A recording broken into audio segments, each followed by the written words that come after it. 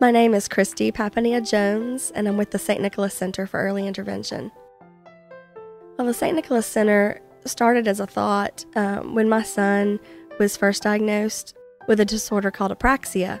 We decided that we wanted to try a lot of intense therapy to see if we could get him to talk on his own. And so we found a therapy, and he said his first word in four months. We were believers in the therapy. Unfortunately, there was no one in Lake Charles giving that therapy, so we were having to work with teams out of Boston. So my husband and I were faced with the decision of moving or bringing it to Lake Charles. My name is Michelle Mudd. Christy has always been a champion for children. Being able to tell your mom that you love her and to be communicative when formally you, you enter the St. Nicholas Center and aren't able to speak, you aren't able to sign for your own toy until you get there and you learn these very, very basic things that you and I maybe take for granted. She inspires me because she's an incredible mother. And I think she's had even more challenges than the average mom. And goodness knows, moms have plenty of challenges just to begin with. With, with Bane being developmentally delayed, um, I feel like she is not cowered in the face of challenge. Instead, she's rose up and she's done amazing things that are new and initiated things, not only for him, but for other kids that face the same thing. I mean, I don't want to use the term hero loosely, so I won't. I'm just going to say Christy Jones is my hero. My name is Melissa Coco Raymond, and I am the clinical supervisor at the St. Nicholas Center.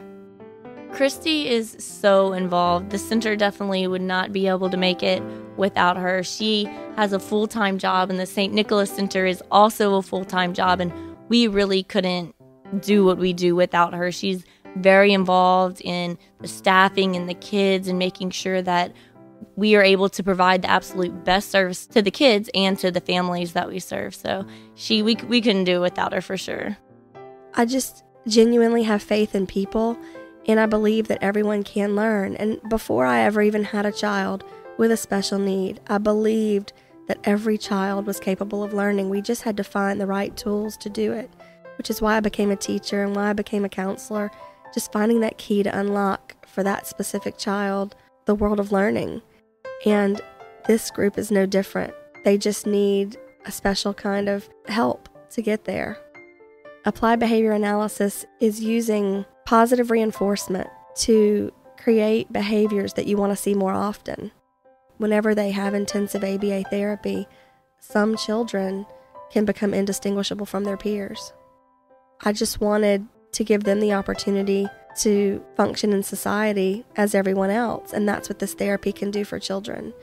Many children started our center completely nonverbal, no communication repertoire at all.